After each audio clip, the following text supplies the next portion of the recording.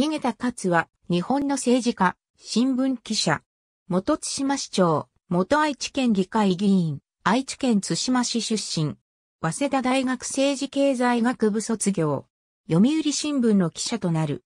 1967年、愛知県議会議員選挙に無所属で立候補し、自民党公認の前、津島市長の竹内節夫を僅差で破り初当選。1971年の県議選は、自民党の公認を得た井桁と無所属の竹内節夫の一騎打ちとなったが、落選。1987年4月の市長選で4選を果たしたものの、その選挙活動に関して消防団の組織を巻き込んだ選挙違反が摘発されて、追悼責任者が逮捕され、1988年1月には有罪判決が確定して連座制の適用により、当選が無効とされ、失職することになった。連座制が適用されて失職すれば、市長では初めての例であったが、結局は失職前に自ら辞職する形をとった。井桁は1988年3月13日に投票されたやり直し市長選挙に出馬したが、この選挙では前、愛知県立津島高等学校校長の山田勝美が当選した。その後、市長在職時に市職員の退職金を水増しする見返りに現金を受け取ったとする収賄容疑で10月28日に逮捕され、執行猶予付の有罪判決を受けた。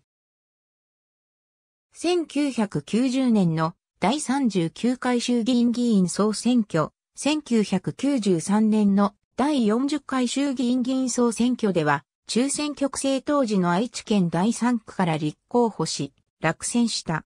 特に1990年の選挙の時点では、執行猶予中のまま立候補したことが注目された。2003年、現職市長、三輪野優の選対本部長が公職選挙法違反で逮捕される。有罪確定直前に三輪は辞職届を提出して連座制逃れで出直し市長選に臨んだ。井桁の息子で愛知県議だった井桁良がこの選挙に立候補するが、時点で落選した。2007年4月の津島市議選に妻が立候補した際、井桁勝は運動員に現金20万円を渡して票の取りまとめを依頼したとして5月31日に公選法違反容疑で逮捕される。